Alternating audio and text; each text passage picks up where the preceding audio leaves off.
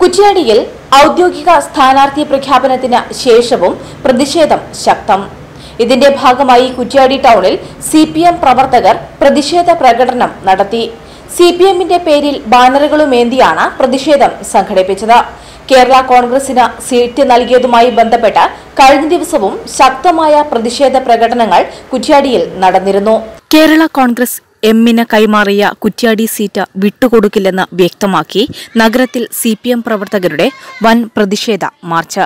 സംസ്ഥാന കമ്മിറ്റിയുടെ തീരുമാനത്തിനെതിരെ ചിഹ്നത്തിൽ തന്നെ വോട്ട് ചെയ്യാനുള്ള ആഗ്രഹം പ്രകടമാക്കിയാണ് പ്രകടനം. കേന്ദ്ര നേതൃത്വത്തിന് അയച്ച പരാതിയും പരിഗണനയ്ക്ക് വരാതിരുന്നതോടെയാണ് ശക്തി വ്യക്തമാക്കിയുള്ള പ്രകടനം. പ്രാദേശിക വികാരം ദേശീയ സംസ്ഥാന നേതൃത്വങ്ങളെ ബോധ്യപ്പെടുത്തുന്നതിൽ ജില്ലാ കമ്മിറ്റിക്ക് വീഴ്ച പറ്റിയെന്നാണ് പ്രതിഷേധക്കാരുടെ വിമർശനം. സി പി എം മുദ്രാവാക്യങ്ങൾ ഉയർത്തിയാണ് സംസ്ഥാന നേതൃത്വത്തിന്റെ നിലപാടിനെതിരെ പ്രതിഷേധിക്കുന്നത്.